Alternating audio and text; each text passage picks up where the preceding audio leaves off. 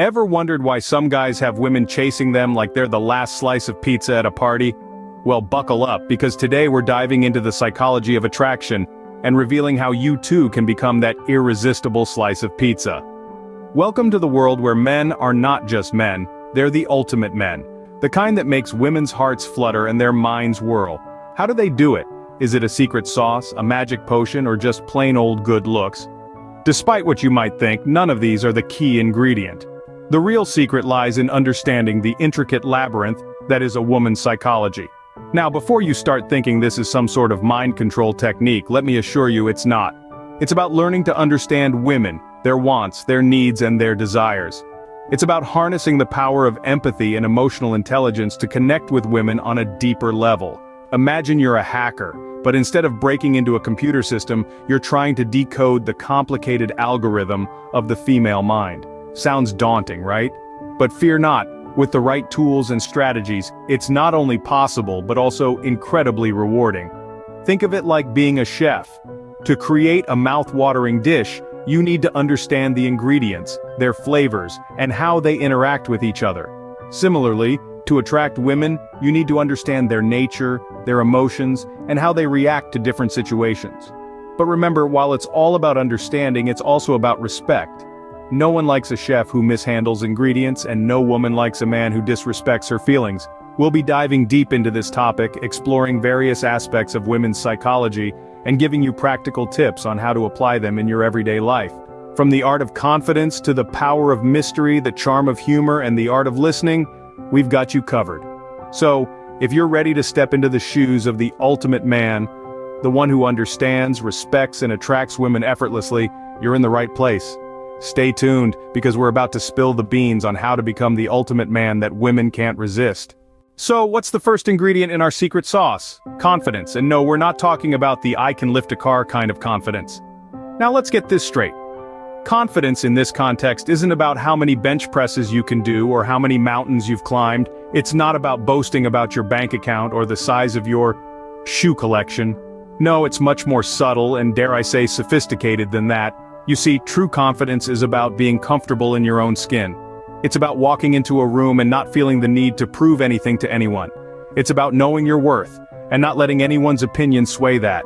It's about being okay with making mistakes and not being perfect. Because guess what? Nobody is. Let's use an example. Picture this. You're at a party, and you see a woman you're interested in. Now, a not-so-confident guy might try to impress her with big words or brag about his latest business venture. But a confident man, he just enjoys the conversation, he listens, he engages, and he's not afraid to be himself. He doesn't need validation because he validates himself. And here's the secret, women can smell confidence. Not the cocky, I'm better than you kind of confidence, but the quiet, self-assured kind. The kind that says, I'm comfortable with who I am, and I don't need to put anyone down to feel good about myself. Now I'm not saying it's easy, it takes practice and a lot of self-love. But the payoff? It's worth it. Because when you're confident, you attract people to you. You become like a magnet, drawing them in with your self-assured energy.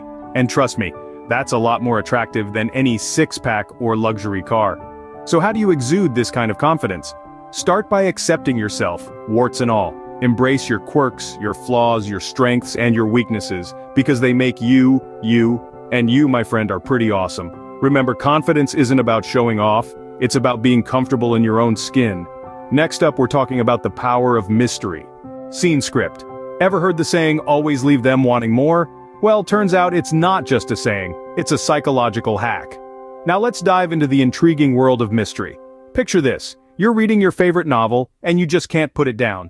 You're dying to know what's on the next page, that's the power of mystery. It's a psychological magnet that pulls you in, makes you curious and keeps you engaged. And guess what? The same principle applies to the dating world. When you're a bit of a mystery, you're like that page-turner novel. The woman you're interested in will want to know more about you, will want to turn the page, so to speak. But here's the secret sauce. You've got to find that sweet spot between being mysterious and being aloof.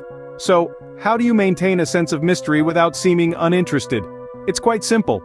You share, but not too much. You engage, but you also hold back a bit, you give away enough to keep the interest piqued, but not so much that the whole story is revealed. It's like a game of poker, you don't want to show all your cards at once. Let me give you an example. Suppose you're an astronaut. Now you don't want to start the conversation with hey, I'm an astronaut. Instead, you could say something like, well, I work in a field that's out of this world. And then let her guess, let her ask questions. That's how you create intrigue and maintain a sense of mystery. It's important to remember that being mysterious doesn't mean being secretive or deceptive. It's about sparking curiosity and keeping things interesting. It's about creating a narrative that keeps the other person engaged and wanting to know more. But here's a word of caution. Don't overdo it. You don't want to come off as aloof or distant. You want to be interesting, not confusing. Ladies love a good mystery, but remember there's a fine line between being mysterious and being downright confusing. What's the one thing that can make even the grumpiest person crack a smile? Humor. And guess what? Women love it. Now I'm not saying you need to be the next Kevin Hart, but a good sense of humor can go a long way in the dating world.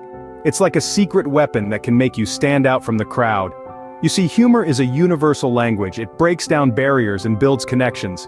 It's a social glue that binds us together. But how can you use humor to your advantage? Well, it's all about finding the right balance. You want to be funny, but not offensive. You want to be charming, but not inappropriate. Let's break it down with a few examples, shall we? Imagine you're at a coffee shop with a woman you're interested in. You notice she's drinking a latte. Here's what not to do. Don't say something like, wow, you must really love milk to order a latte. That's not funny, it's just weird. Instead, you might say something like, I see you're a latte lover. I've heard it's a sign of sophisticated taste. Now, that's light, it's funny, and it's a compliment. Another example. Let's say you're out for a walk and it starts to rain. Don't say, this is God's way of telling us we should have stayed in. That's negative and not particularly funny. Instead you could say, well, looks like we're getting the true romantic movie experience, minus the dramatic background music. This is humorous, lighthearted, and it turns an inconvenient situation into a shared experience. Now remember, humor is subjective. What one person finds funny, another might not.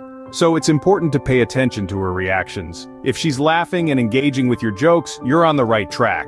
If not, it might be time to switch up your style. So the next time you're trying to impress a lady, remember to crack a joke or two. But keep it classy, guys.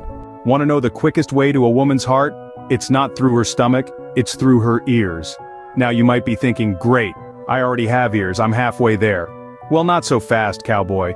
It's not just about having ears, but about using them. Listening, my friend, is an art form. Consider this scenario. You're at a restaurant with a woman. She's talking about her day, her work, her interests. You, on the other hand, are wondering if you left the stove on at home. Or worse, you're planning your next charming line to impress her. Sorry to break it to you, but you're doing it all wrong. Listening is about being present, about showing interest. It's about letting her know that her words, her thoughts, her feelings matter to you. But here's the kicker, it's not just about nodding your head and throwing in the occasional uh-huh or really. That's being passive, not a listener. A good listener engages. Ask questions related to what she's saying, show surprise, laugh at her jokes, share your thoughts. But remember, it's not about turning the conversation to you. It's about making her feel seen, heard, appreciated. Why is this so important? Because everyone craves to be understood. When you listen to a woman genuinely listen, you're telling her that you value her, that you're interested in her, not just her looks or her cooking skills, or her ability to laugh at your jokes. And here's a secret. Women have a sixth sense. They can tell when a man is genuinely interested, and when he's just waiting for his turn to speak. So, don't just act like you're listening, be the listener. So there you have it, the ultimate guide to hacking a woman's psychology. Remember the key is confidence, mystery, humor, and listening, but most importantly, be genuine. No woman likes a faker. Like, share, and subscribe to our channel, we have really good videos.